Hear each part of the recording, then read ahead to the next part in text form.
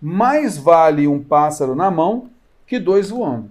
Então, qual é a, qual é a ideia aqui né, desse dito popular? Né?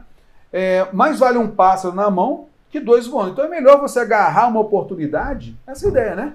É melhor você aproveitar aquela oportunidade do que você ficar esperando uma melhor oportunidade ainda. Concorda comigo? Então, aproveite esta de uma vez. Essa é a ideia geral. Ok. Esse ditado contraria o quê? Poxa, então eu tenho que aproveitar as oportunidades. Não seria essa a ideia? Defensores do meio ambiente, opositores à, à poluição visual, protetores dos animais, favoráveis à alimentação natural, contrários à destruição da natureza. Opa, vem cá.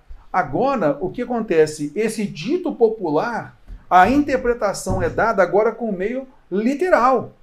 E mais vale um pássaro na mão que dois voando. Pelas alternativas, você já sabe, opa, a intenção aqui não é aquela relação figurativa. Concorda comigo? De você agarrar as oportunidades, agarrar aquela oportunidade mais próxima de você. É isso, né? Então aqui se quer mais uma literalidade, pelas alternativas.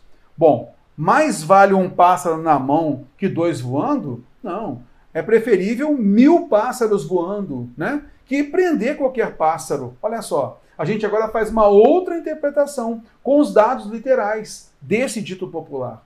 Então, neste caso, esse ditado ele contraria os defensores do meio ambiente, não é? É para a sustentabilidade, preservação do meio ambiente. Poderia até ficar próximo disso, né? mas não necessariamente a meio ambiente.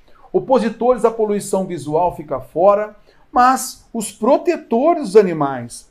Esse ditado, ele contraria o que os protetores animais sempre falam, né? Então é preferível o quê? É preferível que os, que os, anim, que os pássaros eles voem, fiquem voando, sejam livres e não fiquem na mão, né? Fiquem presos. Por isso a alternativa C é a resposta correta. Favoráveis à alimentação natural, contrários à destruição da natureza, nada a ver. Beleza?